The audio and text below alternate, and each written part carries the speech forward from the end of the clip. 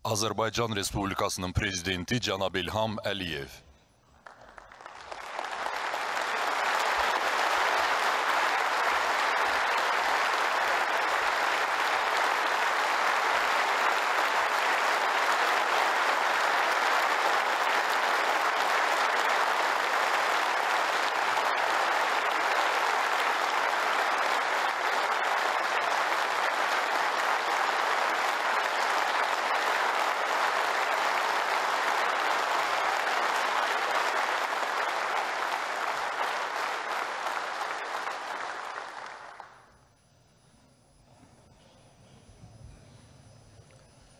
Hörmətli Yeni Azərbaycan Partiyasının üzvləri, hörmətli qonaqlar, xanımlar və cənablar, bugün biz Yeni Azərbaycan Partiyasının yaranmasının 30-cu il dönümünü qeyd edirik. Bu münasibətlə Yeni Azərbaycan Partiyasının bütün üzvlərini ürəkdən təbrik edirəm.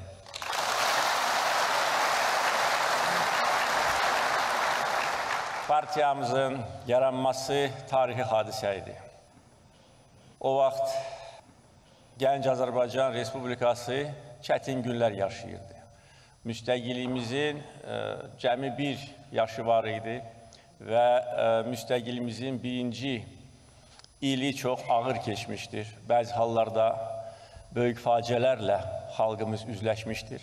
Belə bir vəziyyətdə Azərbaycanın görkəmli nümayəndələri, vətənpərvər insanlar, ölkənin gələcəyini düşünən insanlar, ölkəmizin icat yolunu Heydər Əliyevin simasında görürdülər və məhz buna görə Ulu Öndərə müraciət ünvanlanmışdır.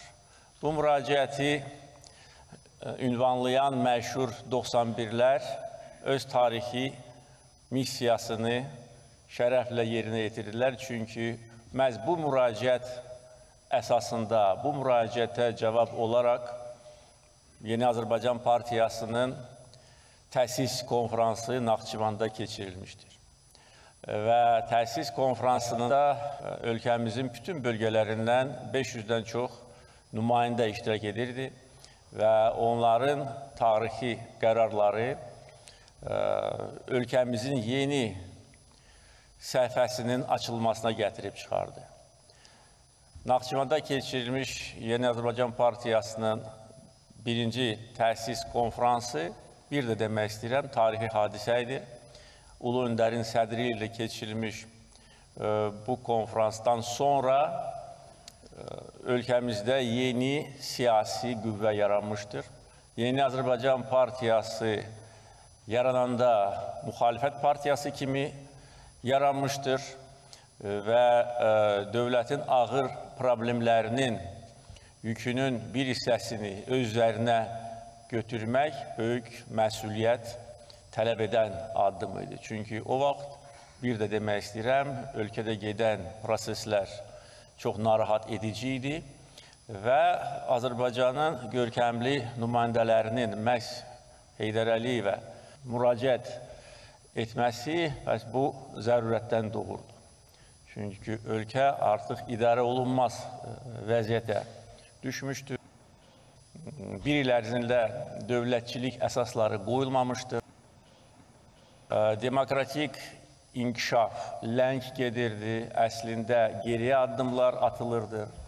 Təkcə senzuranın tətbiq edilməsini biz yada salsaq, demək kifayətdir ki, o vaxt demokratik mühitdən söhbət gedə bilməzdi və Yeni Azərbaycan Partiyasının e, təsis konfransının məhz Naxçıvanda keçirilməsi də e, buna bağlı idi. O vaxt Bakıda e, bu konfransın keçirilməsinə icazə verilməmişdi. Yəni demokratik dəyərlər elan olunsa da, faktiki olaraq həyatda Azərbaycan xalqı bunun əksini görürdü. Media azadlığı yox idi. İqtisadiyyat çox ağır vəziyyətdə idi. İnsanların sosial vəziyyəti, gündən-günə ağırlaşırdı. Yoxsulluq təxminən 90%-ə çatmışdı. Sənaye istehsalı iflic vəziyyətdə idi. Bizim sənayemizin aparıcı sahəsi olan neft-qaz sənayesi də böyük tənəzzülə uğramışdır və faktiki olaraq ölkəmizdə elektrik enerjisi böhranı hökm sürürdü. nizami ordu yaradılmamışdır. İnflyasiya iki rəqəmlidən üç rəqəmliyə keçirdi. Yəni budur 92-ci ilin noyabr ayında ölkəmizdə yaranmış vəziyyət və əlbəttə ki, torpaqlarımızın işğal altına düşməsi vəziyyətimizi daha da ağırlaşdırırdı. 92-ci ilin may ayında Şuşa və Laçının işğal altına düşməsi böyük faciə idi. Həm mənəvi cəhətdən, eyni zamanda hərbi strateji nöqteyi nəzərdən böyük faciə idi. Çünki beləliklə o vaxtki Dağlı Qarabağ Muxtar ə, vilayəti adlandırılan ərazi ilə Ermənistan arasında coğrafi bağlantı təmin edilir. Və hər kəs yaxşı görürdü ki, əgər işlər belə davam etsə, Kəlbəcərin də işğalı qaçılmaz olacaqdır. Əfsuslar olsun, belə də oldu. 93-cü ilin aprelində Kəlbəcər də işğal altına düşdü və beləliklə ərazimizin böyük hissəsi nəzarətimizdən çıxmışdı. Heydər Əliyevə inam cəmiyyətdə çox yüksək səviyyədə idi. Bu inamın əsas səbəbləri o idi ki, Azərbaycanda işlədiyi dövrdə həmişə xalqa xidmət edirdi. Həmişə xalqın qayğıları ilə yaşayırdı. Həmişə xalqla birlikdə idi, bir yerdə idi. Və məhz onun ə, rəhbərliyi altında Azərbaycan 70-80-ci illərin əvvəllərində Sovet məkanında ən geridə qalmış respublikadan ən qabaqcıl respublikaların birinə çevrilmişdir və bütün statistik göstəricilər bunu təsdiqləyir. Eyni zamanda Azərbaycanda yaşayan vətəndaşların ə, həyat səviyyəsi ildən ilə yaxşılaşırdı, xüsusilə kənd təsərrüfatı ilə məşğul olan insanlar öz həyatını yenidən qura bilmişdilər və ə, xalqımızın Heydər Əliyevə inamı yenə də deyirəm, ə, misilsiz idi. Xüsusilə xalqımızın 80-ci illərdə üzləşdiyi ə, faciə bir daha göstərirdi ki, xalqımız yalnız Heydər Əliyevi rəhbər vəzifədə görmək istəyir. Çünki onun çalışdığı dövrdə nə 69-80 ikinci illərdə Azərbaycanda çalışdığı birinci şəxs kimi dövrdə, nə 82-87-ci illərdə Moskvada Politbyronun üzvü kimi çalışdığı dövrdə o illərdə bir dəfə də olsun Qarabağda separatist qüvvələr baş qaldıra bilmədilər. Halbuki belə meyllər var idi, ondan əvvəlki dövrlərdə də var idi və ə, Heydər Əliyev bütün vəzifələrdən istefa edəndən iki həftə keçməmiş erməni separatçıları artıq Qarabağın Azərbaycandan ayrılıb Ermənistana birləşməsi ilə bağlı məsələ qaldırmışlar. Yəni bu amillər eyni zamanda pensiyada olan zaman xalqımız üçün ən faciəvi günlərdə yenə də xalqla birlikdə idi. 20 yanvar faciəsi. Ertəsi gün Azərbaycanın Moskvadakı daimi nümayəndəliyinə gələrək Sovet hökumətini, Kommunist partiyasını, uzun illər xidmət etdiyi partiyanı ittiham eləmişdir. Bu ə, dəhşətli cinayəti qınamışdır. Bütün bunlar və eyni zamanda Naxçıvanda çalışdığı dövrdə müstəqilliyə doğru atılan addımlar o cümlədən Azərbaycan Demokratik Respublikasının ə, dövlət bayrağının Naxçıvanda rəsmi bayraq kimi təsis edilməsi və digər addımlar, o cümlədən Naxçıvanı erməni işğalından qorunması xalqın ona inamını daha da artırırdı. Və bütün bu amillər nəticədə xalqımızın müdrikliyinə əsaslanaraq gələcəkdə Azərbaycanı böyük bəlalardan qurtara bilmişdir.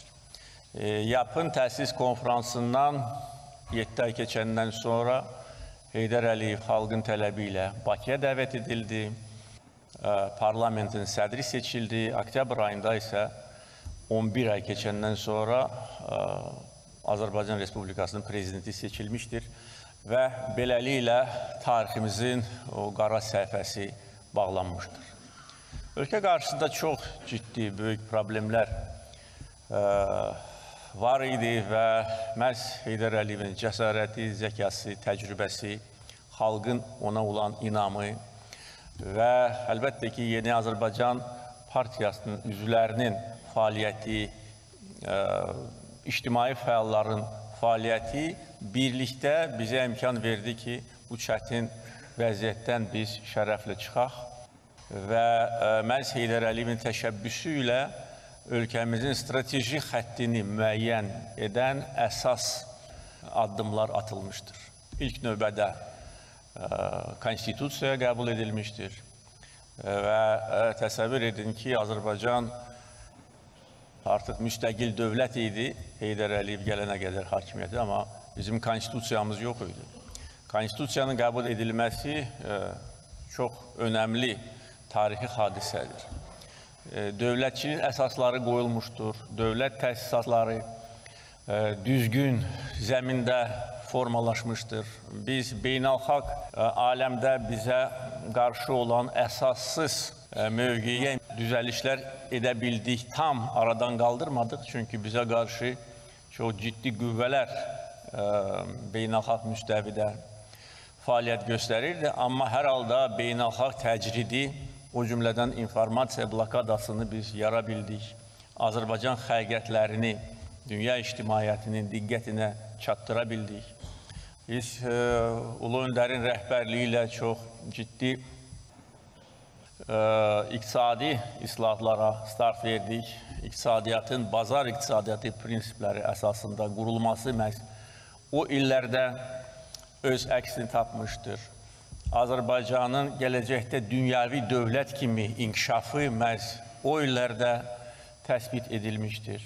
Bizim ə, xarici siyasətimizlə milli maraqlar üzərində apardığımız işlər məhz o illərdə xalqa təqdim edilmiş və xalq tərəfindən dəstəklənmişdir.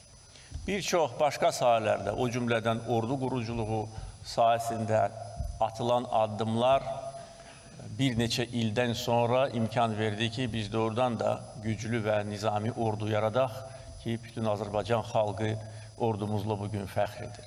Yəni bu tarixi addımlar ə, ölkəmizin uzun müddətli strateji inkişaf modelini özündə ehtiva edirdi. Və əlbəttə ki, bütün ə, planlarımızı həyata keçirmək üçün bizim güclü ə, maliyyə imkanlarımız olmalı idi və ə, yaxşı başa düşürdük ki, xarici sərmayələr gəlmədən buna nail olmaq mümkün deyil. Xarici sərmayələrin ölkəyə qoyulması üçün də ilk növbədə sabitlik olmalı idi. Və bu sabitlik yaradıldı. O ölkədə ki, 91-93-cü illərdə faktiki olaraq sabitlik nədir Azərbaycan xalqı bilmirdi. Qanunsuz ə, silahlı birləşmələr meydan oxuyurdu. Bakı və digər şəhərlərin küçələrində əli ə, avtomatlı insanlar faktiki olaraq hökmranlıq edirdi. Kütləvi itaətsizlik hökm sürürdü. Və belə bir vəziyyətdə sabitliyi yaratmaq ancaq Heydər Əliyevin nüfuzu, onun cəsarəti və xalqın ona olan inamı hesabına mümkün idi. Və xarici sərmayələr də ondan sonra dərhal gəlməyə başlamışdır. Əşur əsrin kontraktı və ondan sonraki neft-qaz sahəsində aparılan işlər o vaxt güclü maliyyə zəmini yaratdı və bu gün bizə ə, o vaxt atılan addımlar və qəbul edilmiş qərarlar imkan verir ki, biz ə, müstəqil iqtisadi siyasət aparaq və beynəlxalq müstəvidə müstəqil ölkə kimi özümüzü ə, təsdiqləyək. Yəni 93-2003-cü illərdə dövlətçiliyimizin çox möhkəm əsasları qoyuldu. Bu illəri sabitlik və inkişaf illəri kimi xarakterizə etmək olar.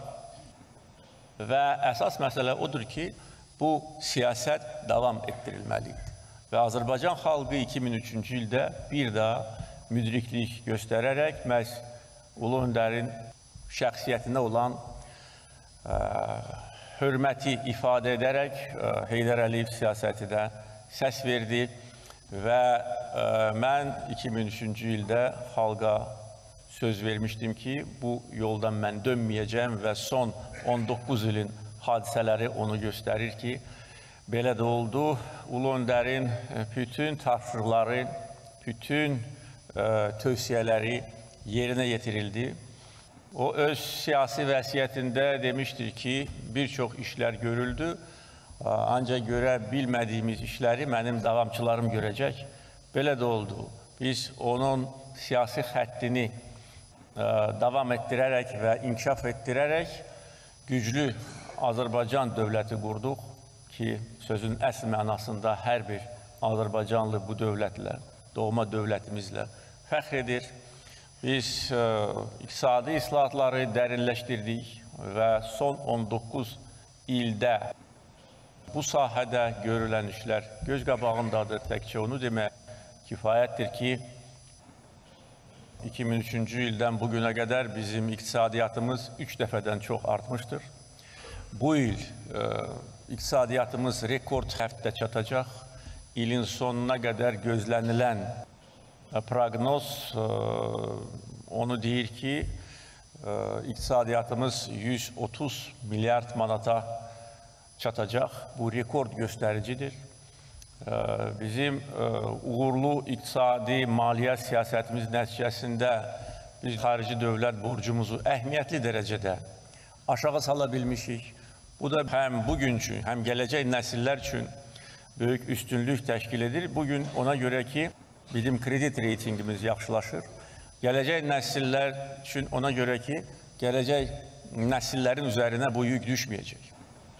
Bir neçə il bundan əvvəl mənim göstərişimlə aparılan islahatlar nəticəsində bu ilin sonuna biz xarici borcumuzu müdaxili məhsuldakı payını 10%-ə qədər endirəcəyik.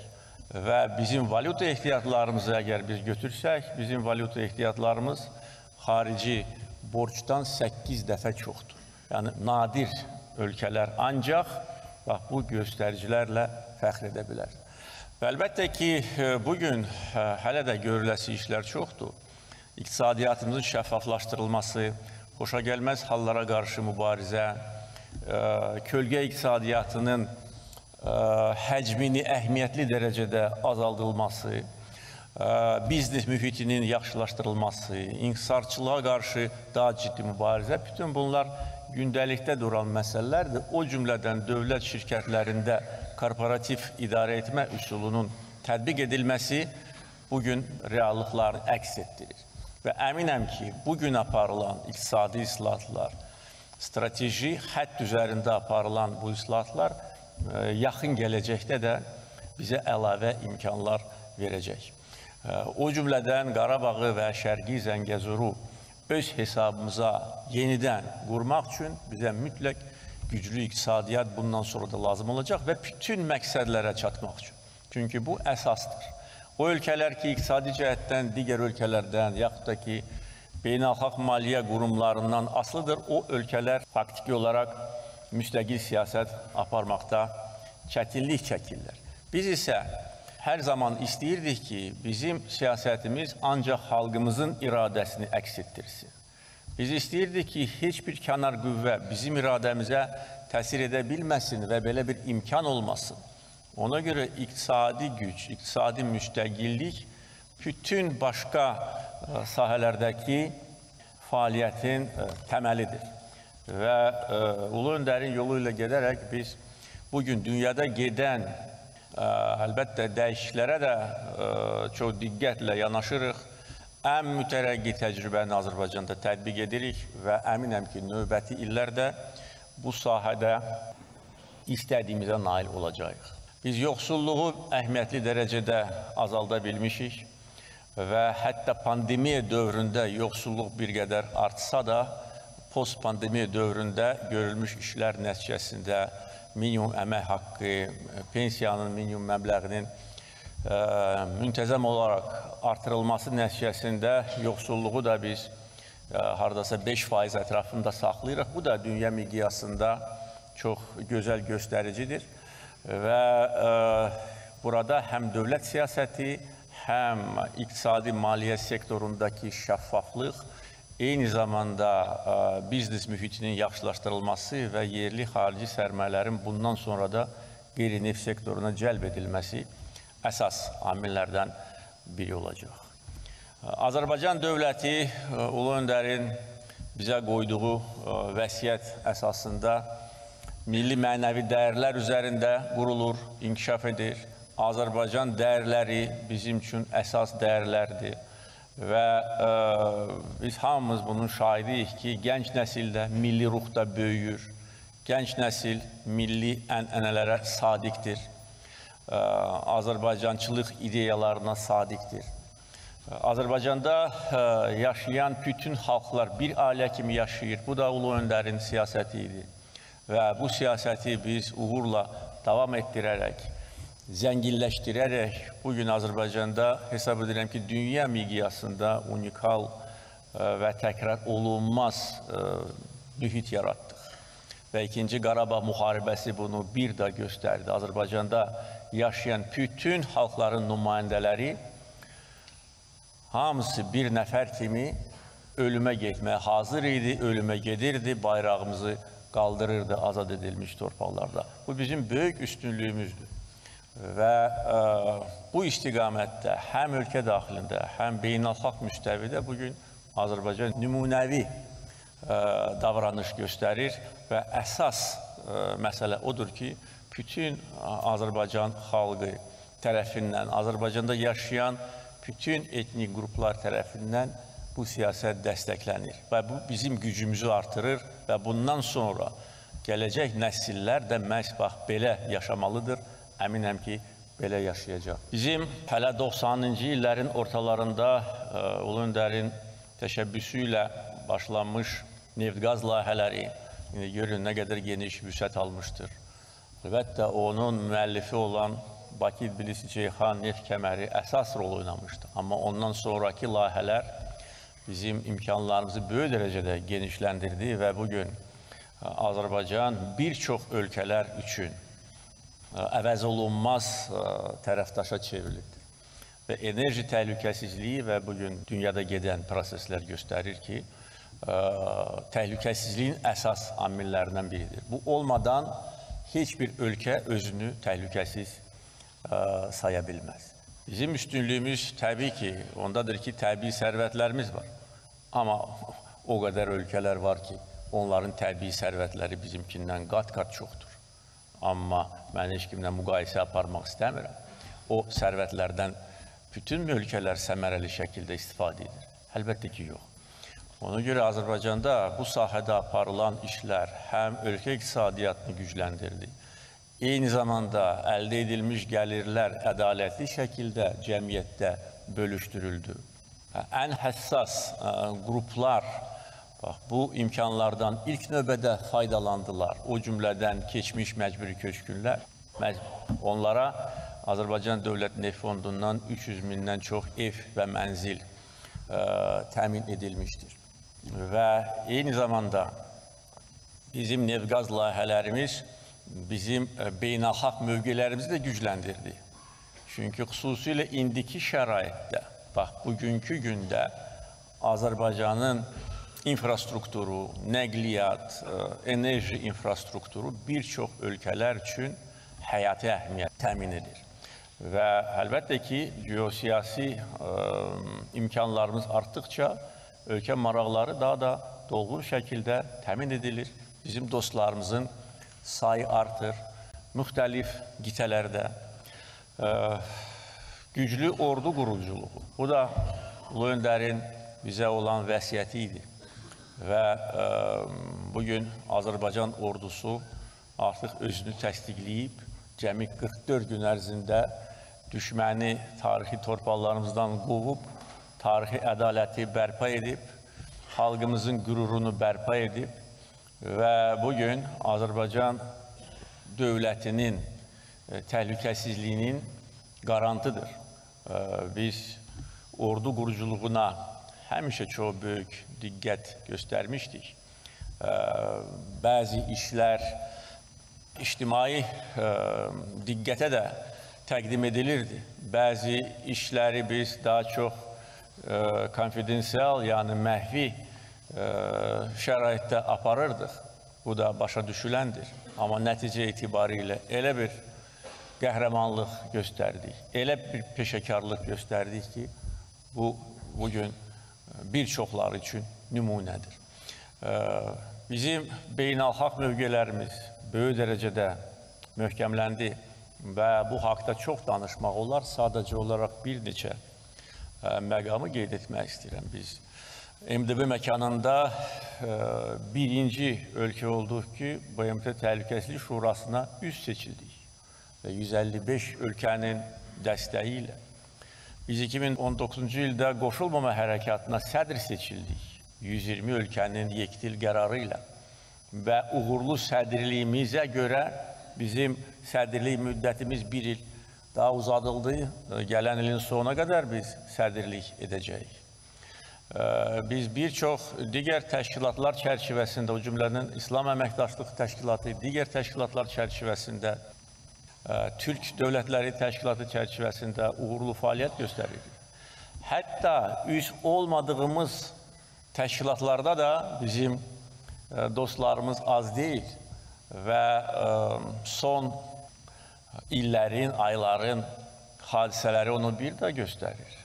Məsəl üçün, kollektiv təhlükəsizlik müqaviləsi təşkilatı. Biz bu təşkilatın üzvü deyilik. Ermənistan bu təşkilatın üzvüdür. Və bu təşkilat xətti ilə Azərbaycana qarşı iddia qaldırmaq fikrindəydir əsassız iddia qaldırmaq fikrindədir. Faktiki olaraq bu təşkilata üzv olan ölkələri Azərbaycanla üz-üzə qoymaq istəyirdi. Bu böyük təhribatdır və böyük cinayətdir. Ancaq bu təşkilatın digər üzvləri bu təhribata getmədilər.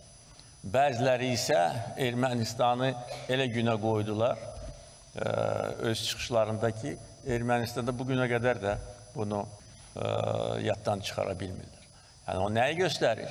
Bu təşkilatda bizim dostlarımız Ermənistandan daha çoxdur. Nəyə görə? Siyasətimizə görə. Bizim etibarlı tərəfdaş olmağımıza görə. Ermənistana nə üçün münasibət mənfidir?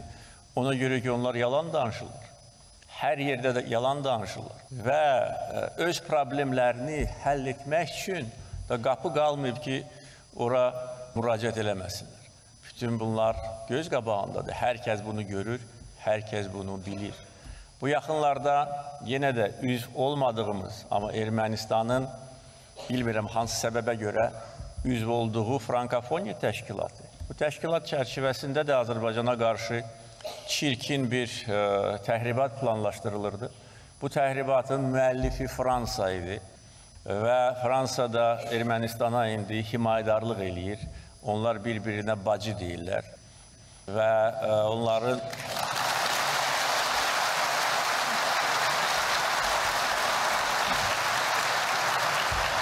Özü də mən görürəm yoldaşlar xüsusilə bunu qeyd etdilər. Mən də demədim ki, qardaş da deyə bilərdilər, amma nədənsə bacı deyirlər.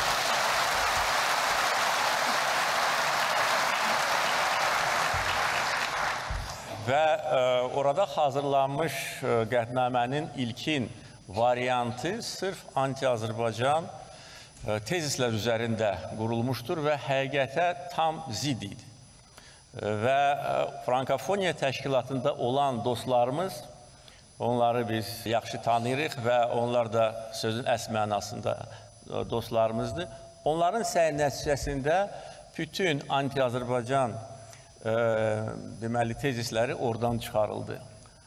Və Fransa-Ermənistan təndemi bu imkandan da istifadə edə bilməmişdi.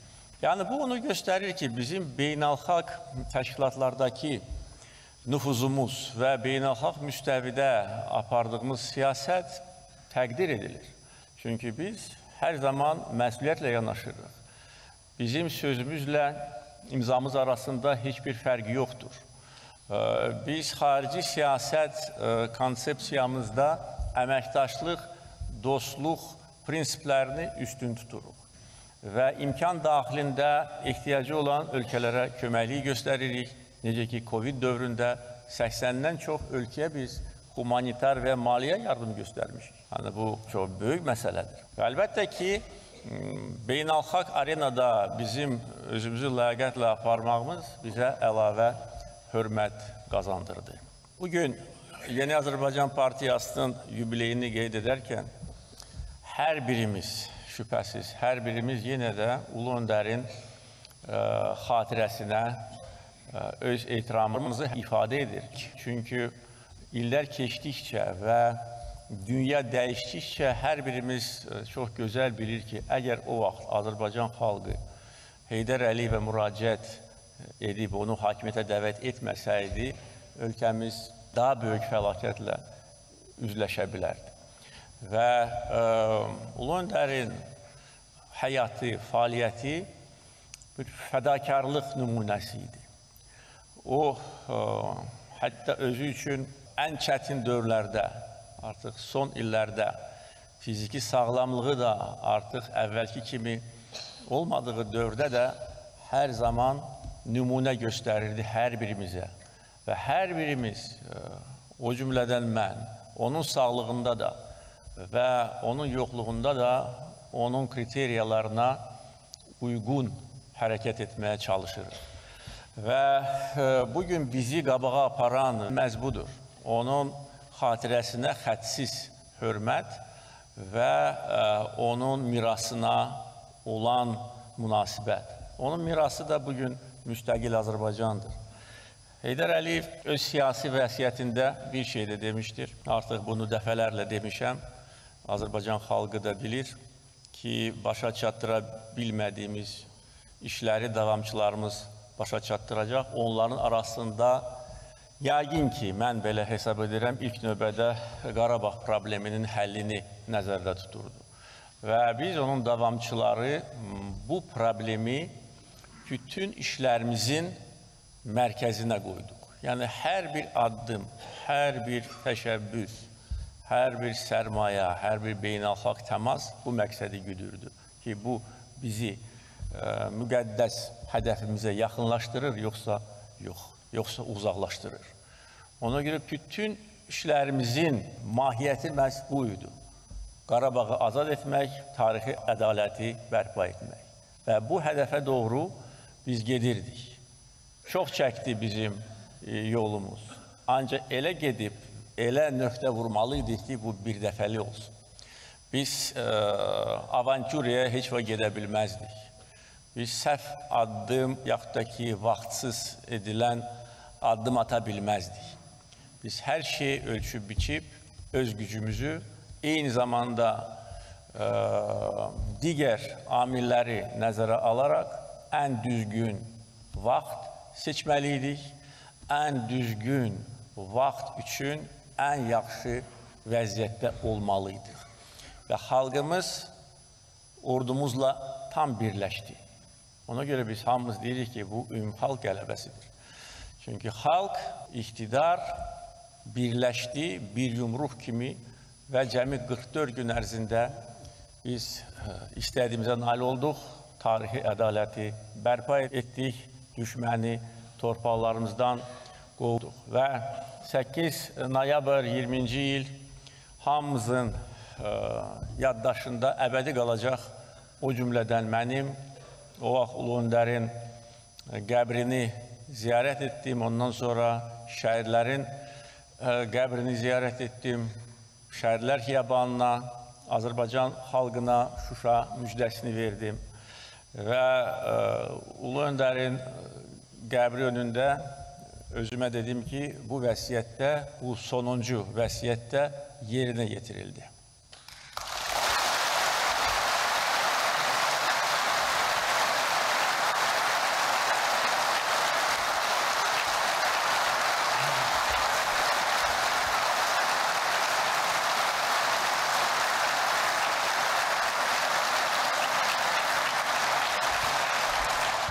İsə qurub yaradırıq, Qarabağı, Şərqi, Zəngəzuru yenidən qururuq. Həyatımız üçün, həyatımızda və ölkəmizin həyatında tamamilə yeni dövrdür. tamamilə yeni dövrdür. Böyük həvəslə hər birimiz bax, bu quruculuq işlərdə iştirak edirik. Bir məqsədlə ki, tezliklə keçmiş köçkünləri öz dədə-baba torpaqlarına qayıtsın. Tezliklə bu dağılmış şəhər və kəndləri bərpa edək və ə, bütün dünyaya bir daha göstərək ki, biz böyük xalqıq. Bugün ə, nəinki Azərbaycan vətəndaşları, bütün dünya Azərbaycanlıları başını dik tutub, bizim üzümüz axdır, alnımız açıqdır. Biz müzəffər xalqıq, qalib dövlətik və bu əbədi olacaq.